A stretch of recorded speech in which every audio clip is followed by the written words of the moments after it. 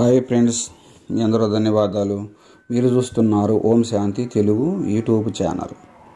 Friends ఈ వీడియోలో మనకి ముఖ్యమైన రోజులు ఎప్పుడెప్పుడు వచ్చినాయో తెలుసుకుందామండి అంటే నిన్న ముప్పై ఒకటో తారీఖు ఆగస్టు నెల శుక్రవారం.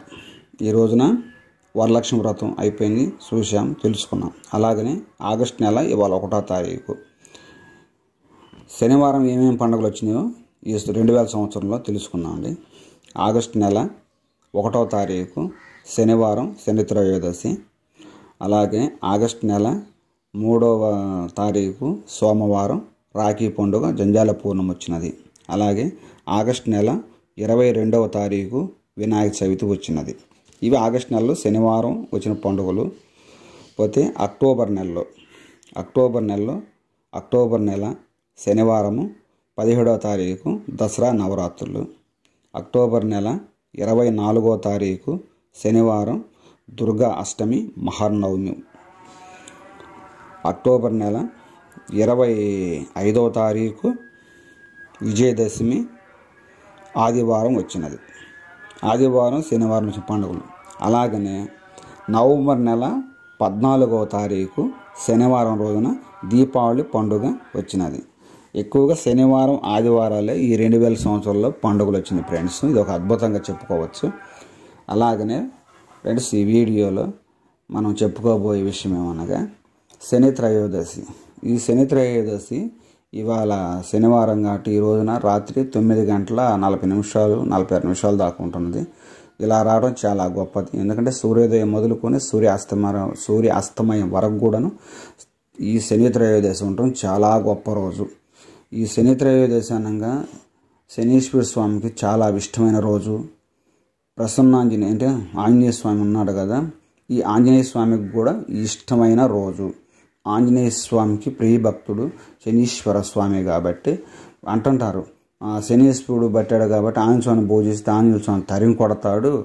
అందువల్ల శివుడిసి మధ్యకు రాదంటారు ఇది కేవలం మన ఊహ మాత్రమే చెప్పుకున్న పిట్ట కథలే కానీ ఫ్రెండ్స్. దేవుళ్ళు దేవుళ్ళు ఎప్పుడు శత్రుత్వాలు కాదు. మిత్రులేగా ఉంటారు. అలాగనే శనీశ్వర స్వామి ఆంజనేయ స్వామి ప్రాణ స్నేహితులే తప్ప వాళ్ళు శత్రువులు కారు. కాదేంటంటే ఆంజనేయ స్వామిని పూజించే పూజించినప్పుడు శని దోషాలు ఎందుకు తొలుగుతాయి అంటే ఆయన చూసి అదురుపోయి అని కాదు. వాళ్ళిద్దరు ప్రాణ స్నేహితులు. నా స్నేహితుడిని ఉన్న చోట నేను కష్టపెట్టకూడదు అనే ఉద్దేశంతోనే శనీశ్వర స్వామి ఆంజనేయ స్వామికి ఇచ్చిన మాటల వల్ల ఆ యొక్క స్నేహబంధం వల్ల వాళ్ళకున్న పరమ పవిత్రమైన స్నేహబంధం వల్లే ఆయన పీడించడం తగ్గుద్దే కానీ వాళ్ళిద్దరు శత్రువులు కాదు. వాళ్ళిద్దరు ఇప్పటికీ అలా కానే కాదు ఫ్రెండ్స్. ఇది తెలియక శనీశ్వరుని గదతో కొట్టాడంట ఎట్టబోయాడంట అది అంట ఇదంట అని పెట్టకథలు చెప్పుకుంటారు. ఇది వాస్తవం కానే కాదు.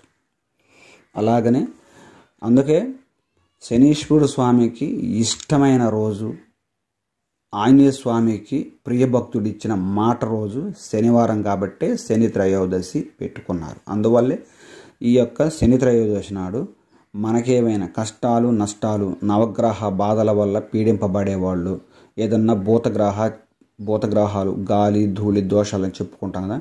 ఇలాంటి వల్ల బాధపడేవాళ్ళు ఇంకేవైనా కష్టాలు ఉండ బాధపడేవాళ్ళు.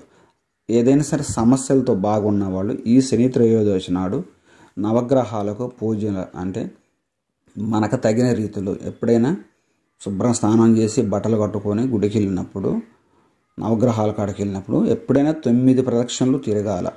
నీకు మంత్రం వచ్చినా రాకపోయినా బాధ లేదు ప్రదక్షిణ కరెక్ట్గా తొమ్మిది ప్రదక్షిణలు చేసుకోవాలా. నవధాన్యాలు వేస్తారు పువ్వులు వేస్తుంటారు నవగ్రహాలకు అన్నీ చేస్తుంటారు. కానీ ఒకటి ఈ ప్రదక్షిణ చేస్తూ పువ్వులు వేస్తుంటారు నవ నవగ్రహాల మీద నవధాన్యాలు చల్లుతుంటారు.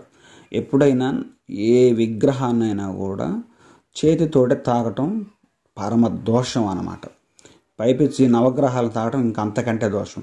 ఎప్పుడైనా నవగ్రహాలు వేసి పూలు వేసేటప్పుడు నవగ్రహాలకి మన మునివేళ్ళు తగలకూడదు. ఇలా తగిలి అంటే ఆ దరిద్రం జీవితకాలం ఏదిస్తూనే ఉంటుంది. అందువల్ల నవగ్రహాలకి పువ్వులు వేసేటప్పుడు నవధాన్యాలు వేసేటప్పుడు మన మునివేళ్ళు చేతివేళ్ళు పొరపాటును కూడా తగలకూడదు. అసలు విగ్రహాలని తాకకూడదు. రెండోది వచ్చేసి శనీశ్వర స్వామికి నల్లని వస్త్రం అంటే ఇష్టం కాబట్టి ఆయనకి నల్లని వస్త్రం కండువలాగేసి నల్లని నూగులు ఆయనకి సమర్పించి అంటే పైన పోసి నూనె పోస్తుంటారు. ఈ నూనె పోసేటప్పుడు కూడా ఒక తప్పు జరుగుతుంది చూడండి. గిన్నెలో కానీ డబ్బాలో కానీ పోసుకుని వెళ్తాం. ఆ ఏ వందల వరకు నూనె పోసి రావటమే కదా అంత తప్పితే ఏముంది అనుకుంటాం వెళ్ళేటప్పుడు ఆ నూనె పోసేటప్పుడు కూడా చూడండి జాగ్రత్తగా ఒకళ్ళు పోస్తుంటే ఆ గిన్నెతో పోతుంటే ఆ ముని చివర స్వామి మీద తగులుతుంటుంది కిరీటం మీద.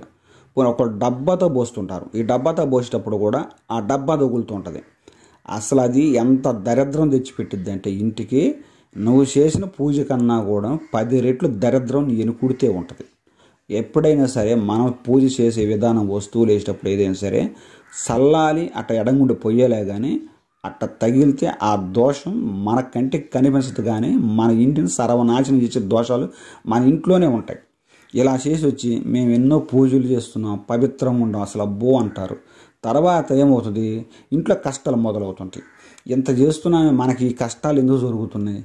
మనం ఏం తప్పు చేసాం అసలు ఈ ఈ పూజలు భక్తులు చేయడం కంటే వేస్ట్గా మానుకోవడం. మేము మాకేం కలిసి వచ్చిందని ఏదో శనివారాలంట ఆదివారాలంట శుక్రవారాలంట మంగళవారాలంట అంటారు ఈ వారాలు చెప్పుకొని మనం బాధపడి పక్కలతో బాధపడతామే కానీ అసలు నిజంగా మనం ఏం చేసి వచ్చామనేది ఇది తెలియదు అది పొరపాటు ఫ్రెండ్స్.